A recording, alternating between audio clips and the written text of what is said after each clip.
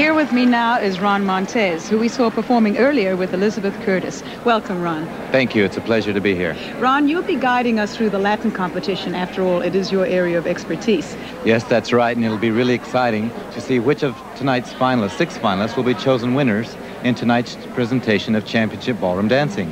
But before we get underway in the Latin section, I would like to point out that many competitive rounds have already taken place. Here we're seeing one of the earlier rounds in the Latin division. These dancers had to perform the standard five dances for this division, the cha-cha, rumba, samba, paso doble, and jive.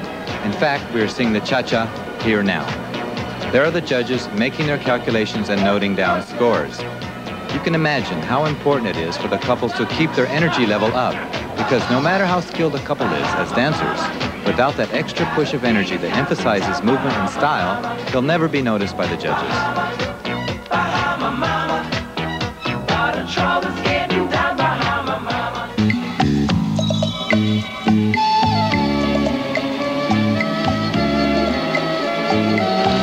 Here in the semifinals, the judges have narrowed the field to 12 couples.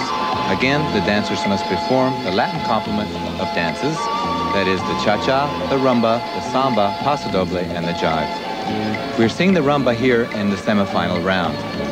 From 12, the field is narrowed to six couples who compete in the final round and later go on to perform individually the dance they draw in the lottery. It's in the semifinals that the competition is most intense because only six couples will go on from here.